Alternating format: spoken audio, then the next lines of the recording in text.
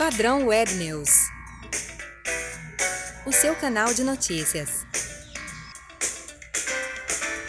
Gente amiga, gente querida, eu sou Edilson de Oliveira do canal de notícias Padrão Web News, falando sobre o primeiro encontro regional Malungadas que acontecerá em Neves Paulista no Ginásio de Esportes Irmãos Toledo. Em nome de Serve Festa Grill, em Neves Paulista com ampla loja, cervejas de várias marcas e estilos extremamente geladas, variedades em destilados tudo para sua festa. Carvão, gelo, locação de mesas e cadeiras, loja completa. Serve Festa Grill, Rua Capitão Neves, próximo à Praça Central. Ligue e faça sua encomenda. 17 981 386268.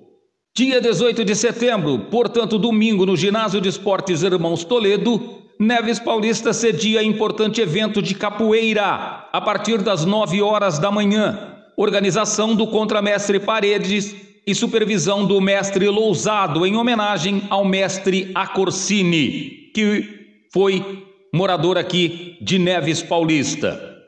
Estamos em contato com o contramestre Parede, que vai nos explicar mais deste evento que homenageia o mestre Acorsini e o evento também terá troca de cordas. Ô pessoal, bom dia, boa tarde, a paz de Cristo.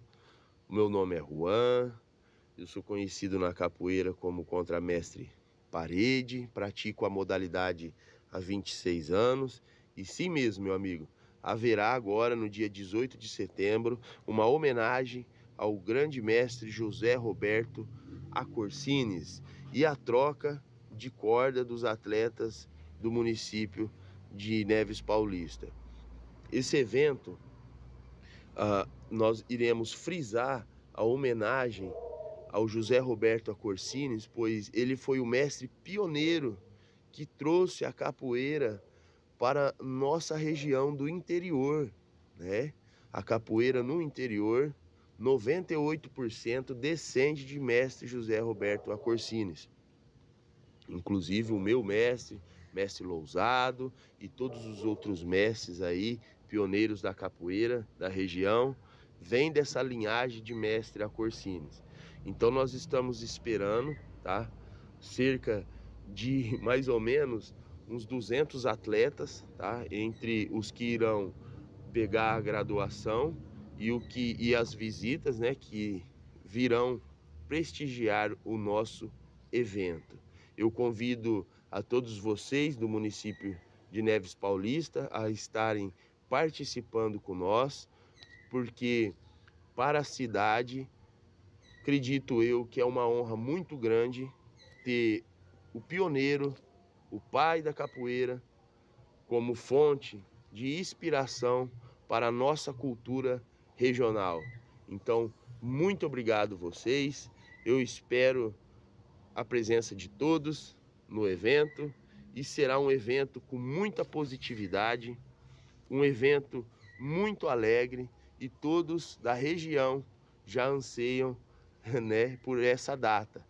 Nós estamos esperando algumas cidades como Monte Aprazível, Votuporanga, Paulo de Faria, Cardoso, Macaubal, Bálsamo, Valentim Gentil, Tanabi, né, entre outras cidades, tá bom? Então espero vocês aí, tá bom? Com Deus na frente e é isso aí, muito obrigado. Quero agradecer também as autoridades, quero agradecer a prefeitura, né, porque incentivam e não deixam morrer essa nossa arte que foi considerada pelo a Unesco como patrimônio da humanidade. Um forte abraço e muito obrigado. Espero vocês. Muito obrigado, Paredes. Esperamos que seja um evento grandiosíssimo para a nossa cidade e também para o esporte. Quem era Mestre Acorsini, em poucas palavras? Nasceu no ano de 1954 na cidade de Bituruna, distrito de Piracicaba. Praticou judô, luta livre e karatê. Saiu da região de São José do Rio Preto para praticar karatê na cidade de Rio Claro, mas devido ao estilo ser diferente do Shotokan, ele desistiu de praticar. Mas aí disseram a ele que em Santa Gertrudes tinha capoeira. Mestre Acorsini, que só havia ouvido falar, foi até lá para conhecer. Chegando lá, era no segundo andar de um centro comunitário, ouviu o som do berimbau e já se encantou. Disse que aquele som entrou em seu coração e pronto, já foi logo fazendo sua matrícula. Começou na capoeira com 18 anos de idade, na cidade de Santa Gertrudes.